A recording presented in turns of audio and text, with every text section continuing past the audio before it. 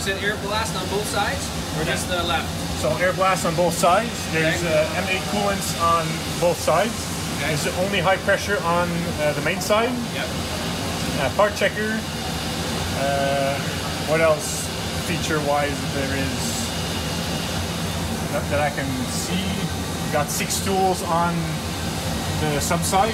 Six six tools on the sub. Yeah. Yeah. Okay. And left side? Uh, you got 12 on the, the main side. Twelve on the main. Okay. Yeah. Uh, there is live tooling on the main side only, That's right. Yeah. not on the sub side. Okay. Uh, there's only uh, six position for the live tooling. Yep. So every like second uh, second pot. Uh, yeah. So that's the parts catcher here. I see as well. Yes. Parts catcher for the sub side. Right now we're using it on the main side. Okay. That's again programming. Uh, sub is working even though we're not using it right now. Yep. I think it's locked. Yeah. Okay. The C-axis is locked. But, uh, Oh, it's clean on the inside for sure. yeah.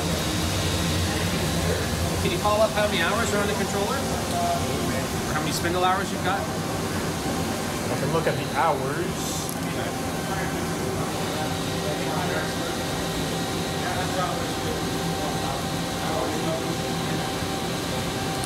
I got power on time.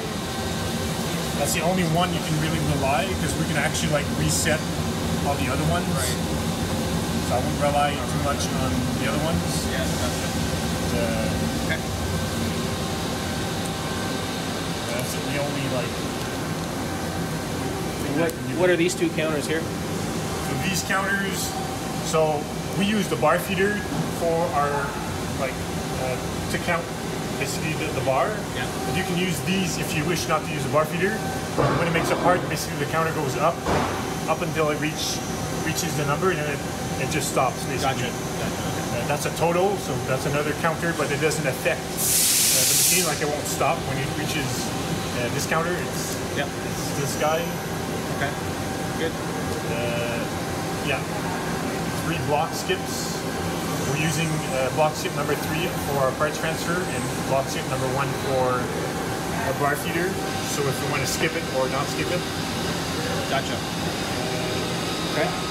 And all good with the chip conveyor, no issues? yeah, chip conveyor works. Yep.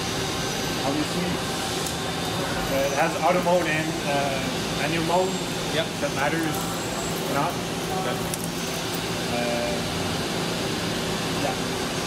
Coolant. I'm not sure how many liters coolant it takes. So this is the other, or this is the end of the parts catcher, right? Yeah, so parts conveyor catcher, parts catcher has a conveyor belt which brings the parts over here. We don't have any fancy system to like actually grab the parts. We just got operators grabbing them uh, manually. Gotcha. Okay. Yeah.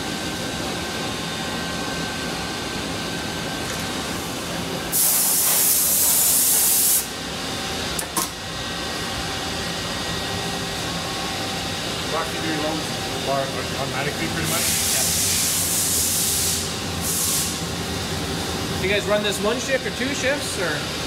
Uh, usually we run, we run it two shifts, depending on what job we have. Al- Also, what operators, operators we have three. Order on it, like maybe like half a year ago, a year ago. Yeah.